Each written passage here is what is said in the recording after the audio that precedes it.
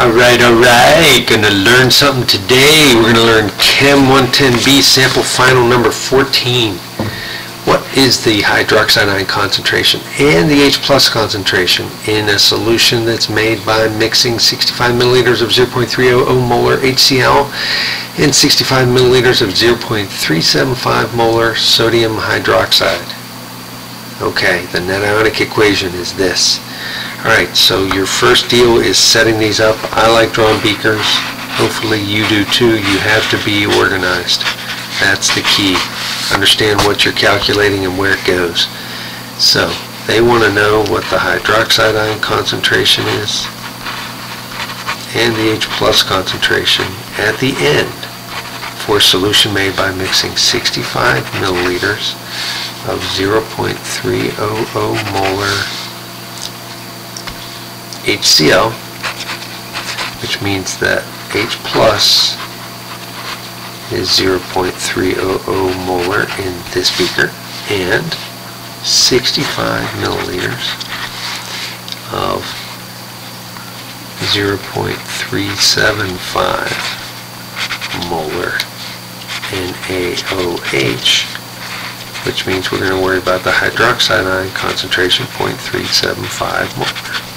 Okay, we want to know what these are left at the end. It's a reaction, so that means ice table. Ice table, which means initial change end. Good.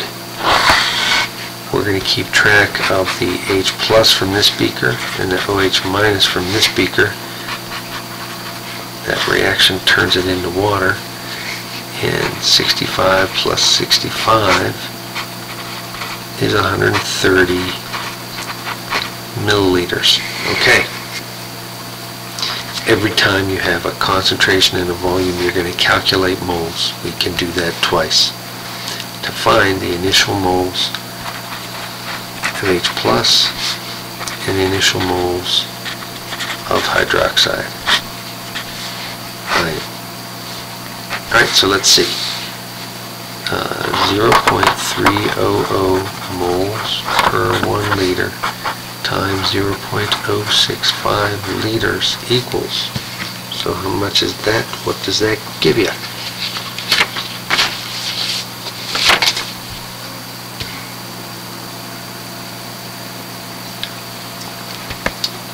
Zero point, ah, let me calculate it. See my notes.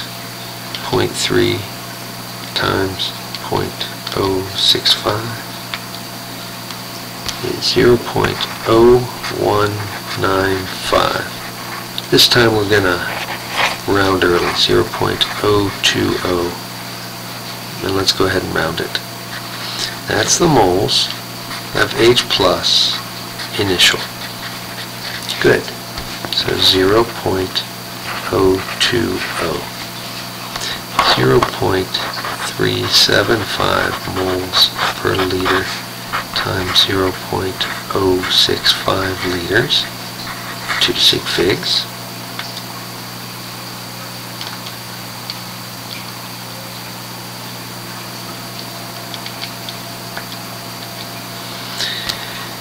Zero point oh two four. Actually, it's oh two four 375, but again to 2 sig figs that's 0.024 moles, and that's the hydroxide initial.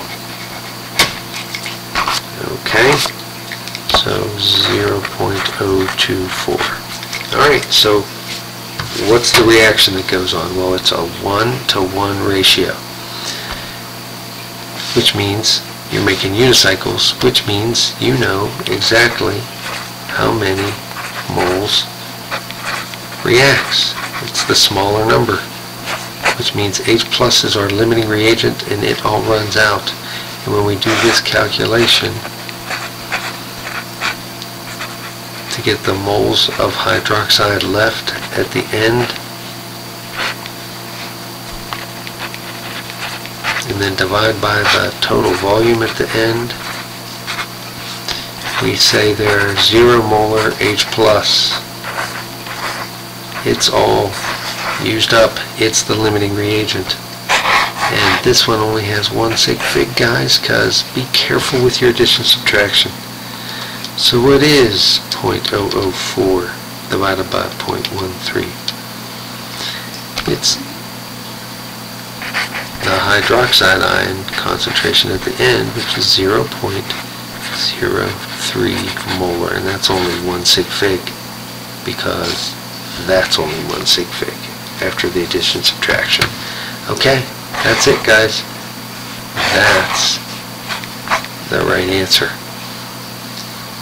If you want more practice, and I know you do, review your Quiz 8. I know a whole bunch of people didn't do so well on these problems on Quiz 8.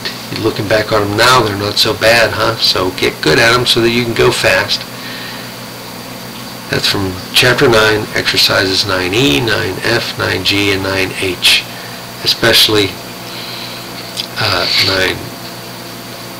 9G and 9H. Okay, good luck.